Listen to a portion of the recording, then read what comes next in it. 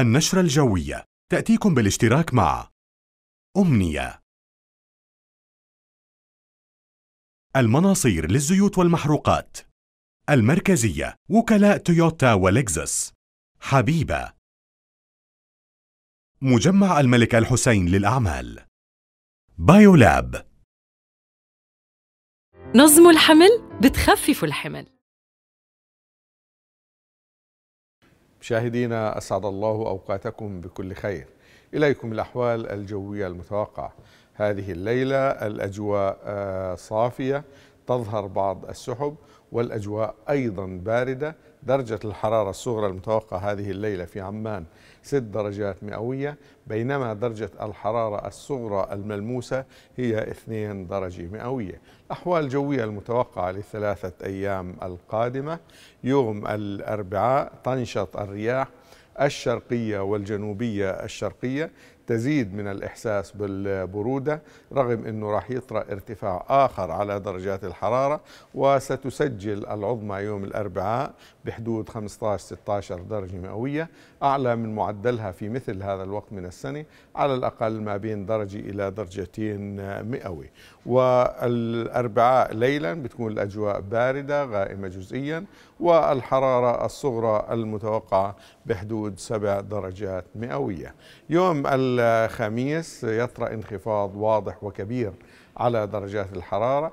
الأجواء غائمة جزئيا غائمة في المناطق الشمالية غائمة جزئيا في المناطق الوسطى. في احتمال آه، في فرصة لسقوط أمطار أو زخات رعدية من المطر في المناطق الشمالية واحتمال سقوط زخات متفرقة من المطر في المناطق الوسطى. لكن المناطق الجنوبية في هناك رياح مثارة وأتربة وغبار وتدني مدى الرؤية الأفقية.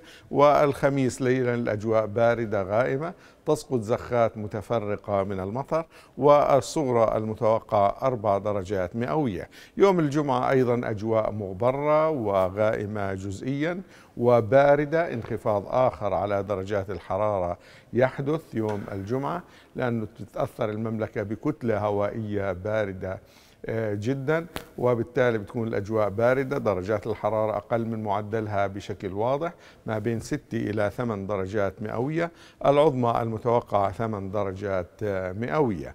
وصباح يوم الجمعة في فرصة لسقوط زخات متفرقة من المطر في أماكن مختلفة من المملكة خاصة المناطق الشمالية والوسطى.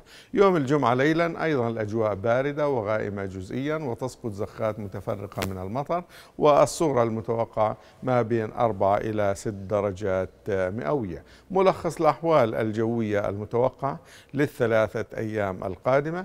يوم الأربعاء رياح شرقية نشطة مثيرة للغبار والأتربة وأيضا تزيد من الإحساس بالبرودة. يوم الخميس زخات متفرقة من المطر خاصة في شمال المملكة لكنها بتكون أخف شدة في المناطق الوسطى. وأيضا غبار يوم الجمعة وزخات من المطر خاصة مساء يوم الجمعة وليلة الجمعة والسبت وصباح السبت أمطار متفرقة بإذن الله. أعزائي المشاهدين من طقس العرب لكم تحية وإلى